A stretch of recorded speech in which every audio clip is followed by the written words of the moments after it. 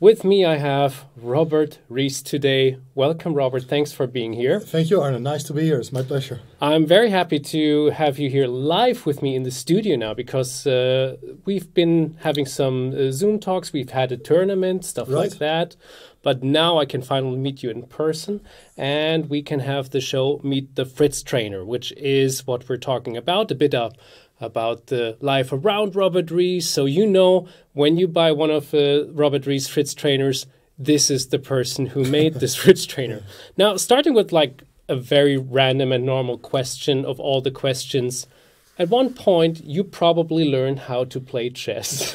yes. how did that happen? Do you remember the time? And Well, it, it, I, I remember very well. I was um, I was playing a lot of football and tennis. I was like uh, seven years, eight years old, and I started an after-school uh, course okay, at a primary school. And my mother um, said, ah, "You should join as well. Your your friends are going there." And I was like, "No, no, I prefer my my football." And then, uh, okay, she pushed me. I uh, I decided to go, and I think uh, I was like seven, eight years old, and uh, I became uh, number two in the school, like playing against like twelve years old uh, kids. And I thought, well, let's go to a chess club, and so it started. And uh, yeah, and then uh, well, in the chess club, uh, I, uh, I one of my first tournaments, I played the regional championship of Amsterdam. I became second behind uh, one uh, friend of mine, and uh, we went together to the Dutch championship uh, in the same age category. And uh, well, then uh, I, uh, we became one and uh, two uh, again. My goodness. So Okay. uh, that's how it uh, more or less started. And then you get more lessons, you go to more tournaments. Mhm. And uh, I don't say that my mother regret that she uh, uh, introduced me to chess, but uh, she was hoping for a different career. but anyway, now now she sees that uh, that I'm here with you, then probably it's all right. Yeah. Hello to Robert Ris' mom, by the way. Nice to meet you too. Now, um, one of those things when you were learning chess in your childhood because of this, let's say, coincidence or, or the thing happening, um, it was probably, and this is what I hear a lot of times about strong chess players, was it very helpful and motivational that you won a lot of the chess games? Yeah, I think I'm driven by results. So I'm uh, I'm very much on the result. And if I would have been pretty bad at it, probably I would have quit earlier. Gotcha, yeah. Uh, I like chess, but it's also because I'm relatively good at uh, at it. So, uh, I mean, of course, stronger players. But when you're as a child, you win prizes. You win. You come home with cups and medals. Certainly, yeah. Uh, and I also enjoyed it a lot. Like I made a lot of friends there, and the people I, I met 25 years ago, I'm I'm still in touch with uh, with Oh, some of them. okay. So that's uh, that's that's cool. Okay, that's nice. So, uh, since quite some time, you have the Fast and Furious show on ChessBase. You've actually made uh, surely over 100 episodes. Um, I've been counting a little bit earlier. Uh, why Fast and Furious and how did this show start? Can you give a little insight about this? Well, okay. Uh, I got in touch with uh, with Pascal, and we had some ideas. And uh, well, generally, I, I like sharp openings. I'm following chess, and I think it's nice for the uh, for the public to to see uh, interesting attacking play. I think most people are not interested in seeing top level chess where you get very precise uh, play by, by by both players, and it turns out to be leading to an equal endgame. Yeah. So uh, sometimes it needs to be a little bit incorrect. And uh, well, I try to follow top chess. I pick the most interesting games, and well, every week there's something uh, something new to uh, to discuss. Yeah, I'm enjoying the show a lot, by the way, because of course you're. I'm I'm kind of the person you're speaking to. I love the crazy openings and the attacking Yeah. play and all of that. Now, what I sometimes wonder because you've made so many episodes and you're talking, you're giving really good insight about the the variations and, and all the different openings. Will there ever be a time where is it is it like ever a show where you go like, "Uh, I'm out of openings, I'm out of variations, or Well, the truth is that sometimes I I'm I'm not struggling to find new topics, but there are always new games. So it doesn't. If there's a new direction in the night, or if there there could be still something interesting to, Gotcha. to talk about, or uh, sometimes you can even have a look at, at games from from the past we people are not Yeah. familiar with. So I. Well, if it's up to me, I will go forever on with the, with the with the show. But no, for now, it's it's not it's not a serious problem, of course. Um, how come you have such a passion for the different variations and especially openings are a theme which can be um, considered to be Robert Ris openings, that's something which is fitting very well together. Well, in general, I, I, I like to analyze a lot. And uh, mm-hmm. Uh, for me, like uh, when I play tournaments, I, I like to play very serious. So I prepare my games uh, uh, well, mm-hmm. and I, I don't want to come to the board unprepared. So yeah, when you when you study a lot, you you you come across a lot of uh, games, not only the correct lines, but also a lot of rubbish lines you, you often see.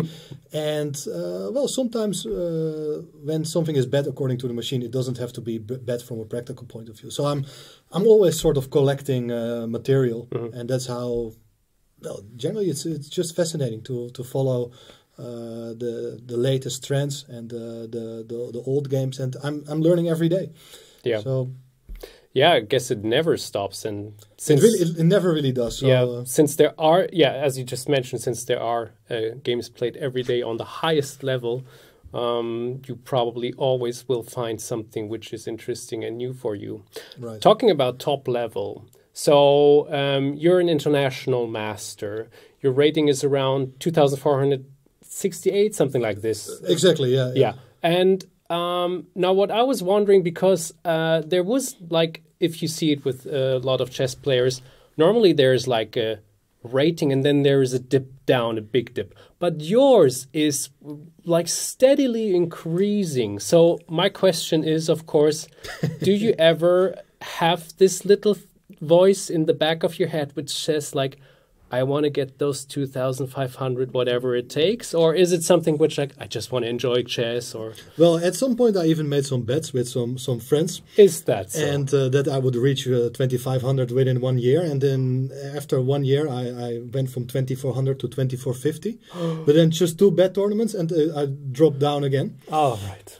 You know, I I I should, and uh, I really want, but uh, well, I need to find the time. I have a, I have a lovely wife, and uh, yeah, playing tournaments and of course studying chess as well. It's yeah. it's really time consuming. So um, yeah, I don't know. Uh, especially now in the in the pandemic, I, I don't know if I can play that many tournaments. But obviously, yeah, I'm uh, I I haven't forgotten about it yet. So uh, we, we, we, will see. will you announce the bet again, or is it just something private with you have with your well, best the, friends? I, I actually I, I don't think what exactly the bet was about. It's just that I should uh, make it within uh, three years. Okay, and I uh, terribly failed. So, oh, well, terribly. No, we, we did it some years ago, the, the bet. So okay, okay. Uh, the, the, deadline has already passed. But who knows? Who knows? Uh, I'm open for new bets anyway. So uh. Okay, here you go. Write it in the comments. No, don't do that. But, well, of course, yeah, that, yeah, we have the coronavirus, which is like uh, lasting since two years. So that might be a bit difficult after all. Um, we will take a look at one of your absolute favorite games and we will have a little bit insight about this. But before we do this, I will just ask you a couple of more uh, short questions. Who is actually your favorite chess player, if you have one? Very difficult because mm -hmm. I I appreciate different styles. Yeah. Uh, I like Magnus as a sportsman, of course. Uh, but now he's playing the World Championship match with, with Nepo. I should say that uh, I've played also not against all of the best players in the world, but I've played once in an official Blitz tournament in Moscow against Nepo, Nepo oh. and he really impressed me the way he crushed me. like it, it, it was it, it, was a King's Gambit. I was playing with the black piece. He played a King's, King's Gambit. Gambit. I took I took the pawn on f4. He played a couple of moves. He kept developing. I uh, he played g3. I took the pawn. I took another pawn. He played king h1, so I was like three pawns up, and then suddenly we exchanged queens. And uh, I thought, well, I'm, I'm doing pretty well against yeah. him. Suddenly he traded queens, and uh, five moves later it was checkmate on move 25. And he ended the game with more time on the clock than we started with. Oh, this is this is harsh. And yeah. and and and I, have played against uh, strong players, uh, far stronger than me, and yeah. I've lost many of them, of course. But this is one of the experiences which uh, sticks in my mind, and I, I, was really impressed by by the by the way he uh, he quickly spotted all these things. Uh-huh. And uh, it was not a theoretical line or so. He just played on intuition. He knew how to attack. So. Well, that for me that was one of it was not a painful experience. I really enjoyed it. I I totally forgot how the game went because it was a blitz game, but the, the story is still very uh, strong in my mind.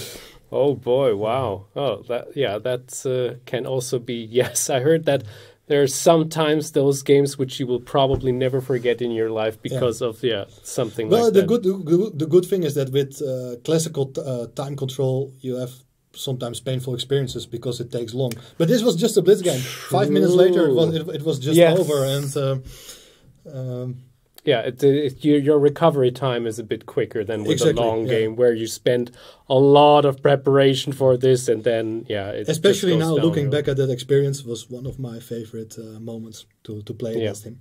Oh, that, yeah, that's that's that sounds very good. And well, we all know how he must feel right now. Kind of like that. That's also a bit tough, of course. Yeah, that's uh, incomparable. He's suffering a lot after this uh, dramatic uh, Yeah. mistakes. Yeah. Well, um, do you have some favorite chess books? Uh, well, uh, I learned a lot from um, from the Dvoretsky books my, myself. Okay. and uh, well, I, I, I, I read a lot of opening books. I like the Kasparov books, but all I even though I didn't study them that that properly, but uh, like uh, for for getting some general information on uh, on the legendary players, it's all, always nice. Um, there's no particular book which uh, springs to mind Okay. now, but uh, yeah, definitely I've I've read all the classical uh, books myself. How many books do you have at home? Uh, well, I throw away some as well, but no, but no, seriously, seriously, I, I, I do have quite a number of books. Um, no, no idea, maybe uh, 100, 200. Uh, Pre- pretty nice, pretty nice amount of books. Yeah. I would say so. Now, my last question before we uh, take a look at the game is: What is at the moment your favorite opening as white? as white, poo. Uh, If you if you can share the secret. well, I, I have no secrets for you, Arne, so yeah, it's just between the two, you Yeah, two and me. yeah, Don't yeah, worry. Don't we, we'll take it. Uh. Just just uh, Well, I'm I'm a, I'm a fan of the Scotch. I I, I like the I like the Scotch. It's uh, well like many openings. It's, it shouldn't be a problem for, for black, but it can lead to, to fun play. And uh, well, yeah. somebody like uh, Nepomniachtchi has played it a lot himself, and Mm-hmm. uh, many other creative uh, players. Uh, so I, I I've I've been playing it a bit my uh, myself, but Okay. uh, well, there there are so many interesting openings. I've I've played one d4 for a long period of time, but I realized Okay. that um, one e4 better uh, fits with my uh, my style. So um, Oh. let's uh, let's stick with one e4. And uh, now for black, the same answer. What is your favorite opening which you like to play as black? Well, there's a simple answer. It's the uh, Sveshnikov. All right. Yes. As I, yes. I, I've written a book uh, about it. So uh, now that this is my, my favorite opening uh, since uh, my childhood. I, I I played it a lot. I studied a lot.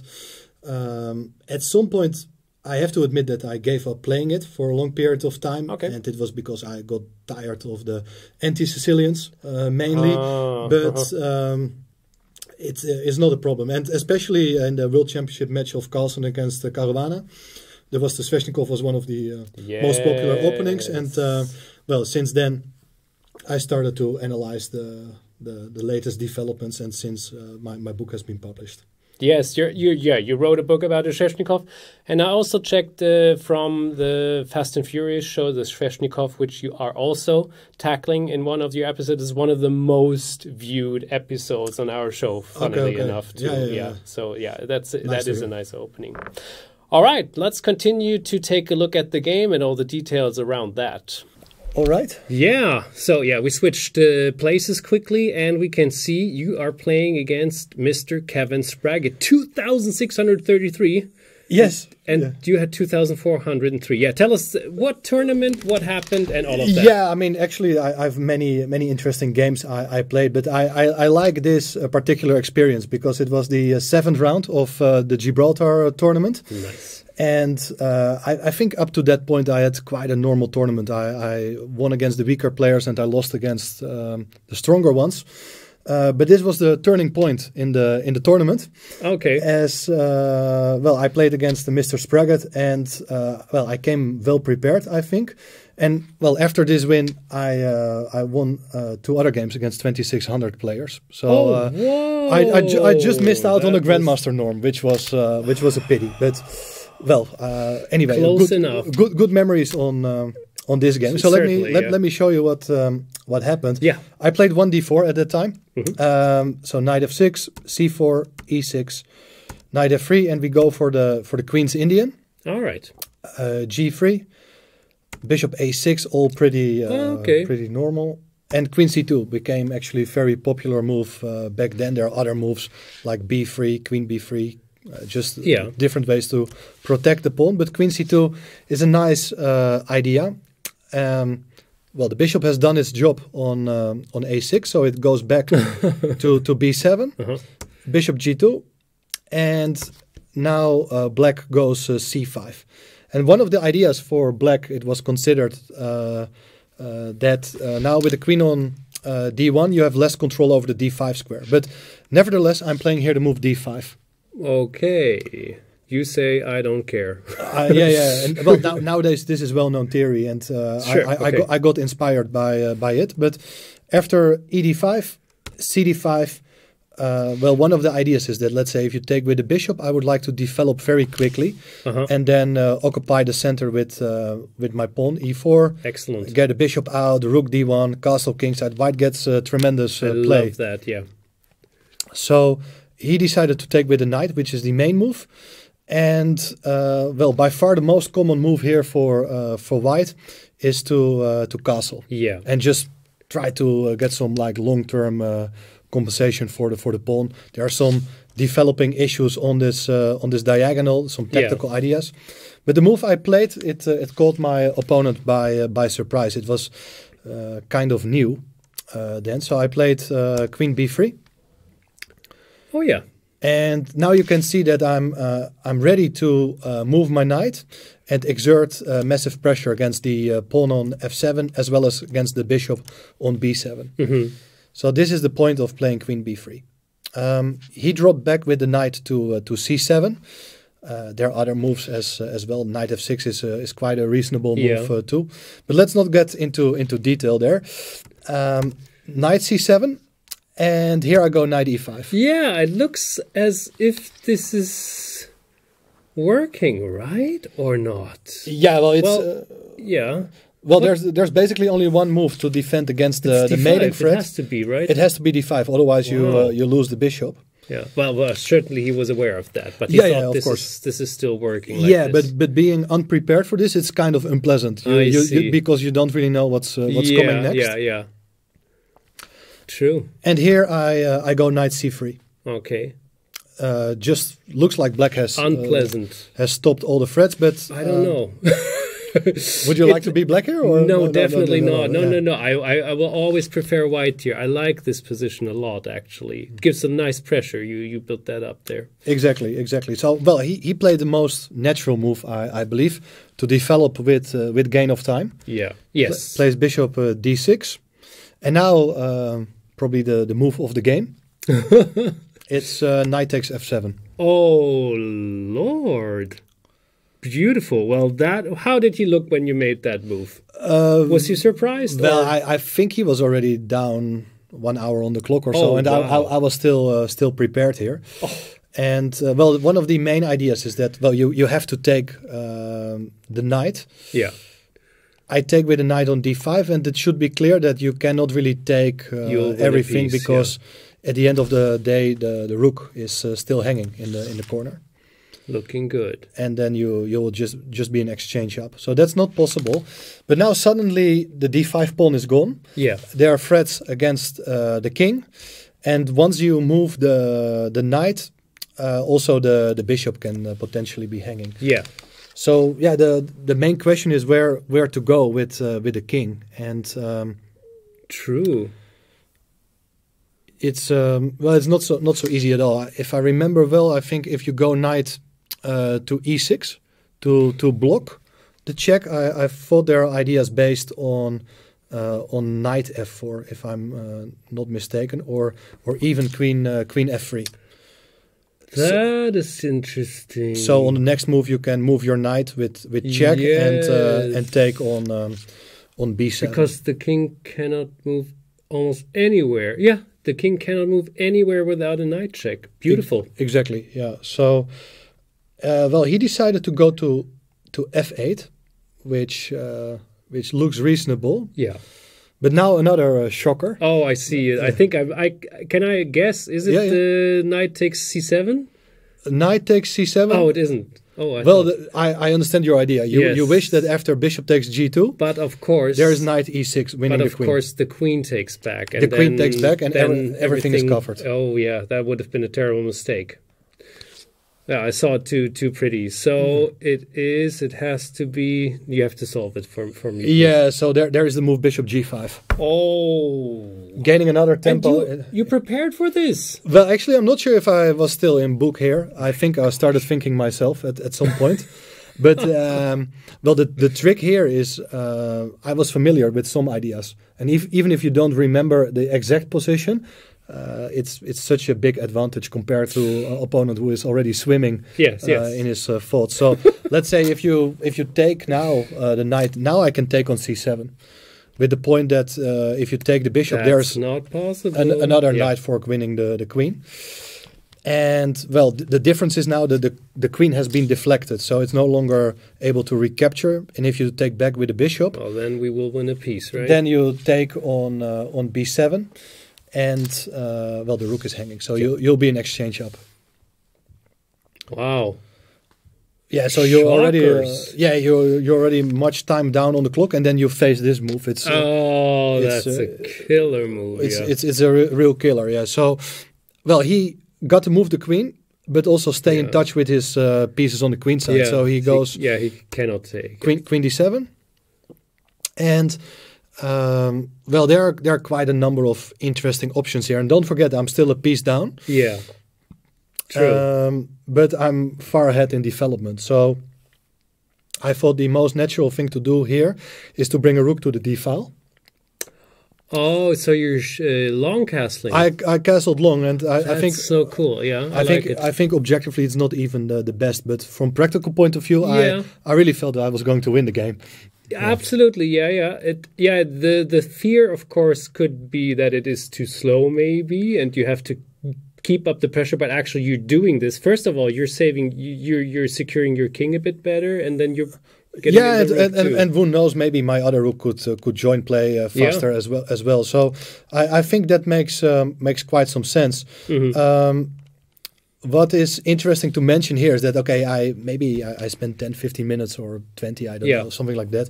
But next to me was a game of. Um, uh, Victor Korchnoi, and he had a French position, uh, like all the all the pieces were still on the board after a couple of hours of playing, and I could I could see from his expressions that he was not entirely entertained by his own game, and he was looking at my game. It was no, but it's, it's, it's if, if such a player is sitting next to you uh, across the board, so you you, you can you can you can observe him. Yeah, it- it's it, one of my favorite uh, chess moments. It's probably even nicer to see Korchnoi looking at your game like non-stop rather than uh, winning the game itself. It's just the the fact that he was sitting there made it uh, made it special for me. Right. So, um, yeah, I'm- I I I don't remember. I I thought that there was still sort of a defensive for Black, but to be honest, I cannot recall. It's like such a long uh, long time ago. yeah, indeed, yes. Um, but he, uh, my opponent played a very natural move, knight uh, knight c6. Like you need to Yeah. catch up with your development, but it all comes uh, a little too slow because uh, now I'm looking for tricks on the d file, but uh, I also need to combine it, of course, with threats against uh, the king. yeah, And the critical move here is uh, queen f3 there it comes again. Yeah, which is the move I uh, I played. And suddenly you, you have a big problem because if you uh, decide to block the check, Mhm. Um, I'm ready to exchange queens. Oh, This is come as a surprise, but it's all tactical. Oh, I see it. Yeah, You, you didn't do my calculation training uh, DVD, right? yeah, yeah. So, um, well, you you got to take here, and then um, Beautiful. you uh, you win back. Actually, you, you not only win back the piece, probably you win more material because uh, you're gonna win uh, something on this diagonal too. Yeah, that looks looks very good for for white. Absolutely. Right. So, well, that's that's impossible. There are some other uh, king moves. My opponent played king e8, but king g8 is also interesting possibility. So. Shall I give you another uh, chance here? yeah, to- give what me to do? another Yeah, chance, yeah. please. Okay. so for you at home, of course, too. Now's a chance to to uh, spot the correct and next move here. Ah, what can it be? Well, there's so many tempting things. Uh, I'm I'm thinking. Oh no, this cannot be. Oh, there's so many things. Well, No, I think I would. I would probably think too long about this position. I I see so many options like bishop f6, knight f6, queen b3. Uh, maybe just a rook lift. I don't know. I I would have to calculate a lot look, here. I think always look at checks and captures. Okay. There are no good checks. I will help you. Yeah. But there's a good capture. Okay. As you can uh, take on uh, that on was c7. another option. Yeah. You cannot take with the bishop because of the pin. And if you take with the queen, There's just the check. there's another check. And you you win the piece back. And um, you're pawn up with an overwhelming advantage. Excellent. Yes. All right. All right. All right. So um, Didn't get it. Damn it. yeah, yeah, yeah. so well, in the end, uh, the king had to go to uh, to e8, Uh-huh. and uh, now another uh, nice little move as I bring my queen uh, a bit closer. Cute.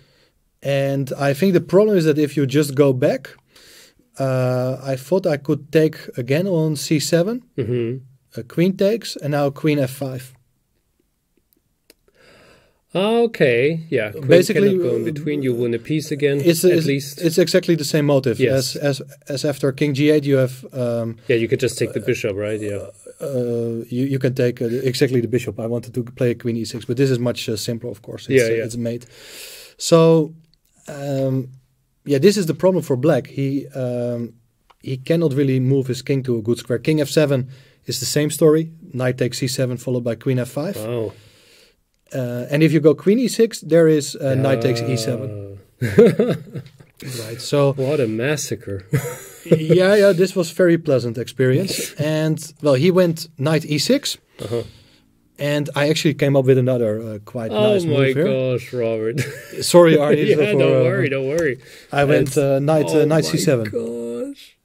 So he cannot take with the bishop, otherwise his queen falls and probably will have Right. Uh, Cannot take with the knight either. Yeah. Knight Uh, cannot take because it's in check. Right. And if the queen takes, uh, we just take the knight. Beautiful. Take the knight. Uh, bishop is hanging again, so Yeah. the only move here would be uh, bishop e7. But now it's time to uh, eliminate some uh, defenders, as uh, as I can take with the bishop on uh, on c6. Oh, okay. I thought you would take the bishop on e7 first. Well, there's no need to do that because the the bishop is pinned. Yeah. So I would rather take here. Okay. Uh, uh, I see your point. Like Yes. you you want to go here, but and then I would like to take the knight. Yeah. yes, but I take back with the knight. here. Oh my lord! Okay, Yeah, yeah, yeah. There we go. This is why uh, Robert is doing all of this and not me. Yeah, yeah. yeah. Thank you. always think about the move orders. There are always differences. Yeah, so well, I, I So took here, true, yeah. and you cannot take with the queen because of uh, mate, obviously. And if you take back with uh, the bishop, now it's time to take with the bishop on uh, on e7. Excellent. And after queen takes, uh, it would be queen takes c6, and uh, yeah, this is pretty uh, pretty hopeless. That should be very, very good for white. I think the queen is falling as the next piece, or the or the rook. Yeah, the I think the main problem if uh, king f8, the the rook is hanging, Yeah, and if you go king f7, I just can play uh, rook d7. yeah.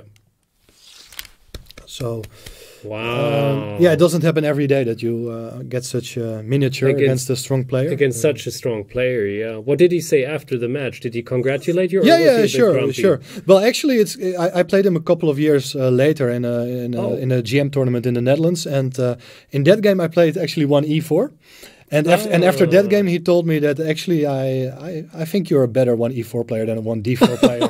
so, which I, in a way, he was probably right. But uh, after getting crushed in such style, I was not sure. It's You probably, if you ever meet again, please do not never play d4 against me. yeah, That exactly. would be very nice. Yeah. Okay, I don't want to be crushed like that again. Awesome. Thank you so much for this insight. Well, yeah, that was it, Robert. Very good. And um, this is your Fritz trainer. So if you like Robert and if you like the Fritz trainers and the Fast and Furious show, go get some more Fritz trainers. Some more are coming up very soon. That much I can tell.